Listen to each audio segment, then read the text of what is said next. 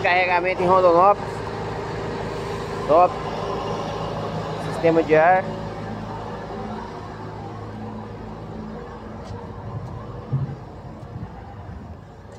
Filmar ali o que eu aprendi hoje, que eu vi diferente nesse caminhão, que eu não tinha visto nos outros ainda.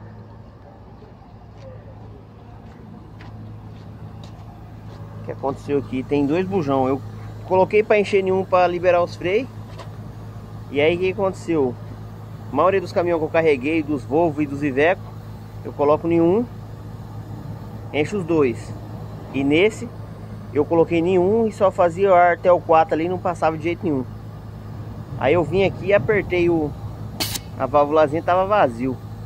Aí eu tirei de um, botei no outro, aí liberou os freios, consegui descarregar o bruto. Agora é só decolar embora. Mas aí, bom, eu não sei se os tipos de caminhão é assim, eu sei que eu descobri hoje. E demorou, tá? Mas é isso aí. Levantar a prancha agora e pegar voo.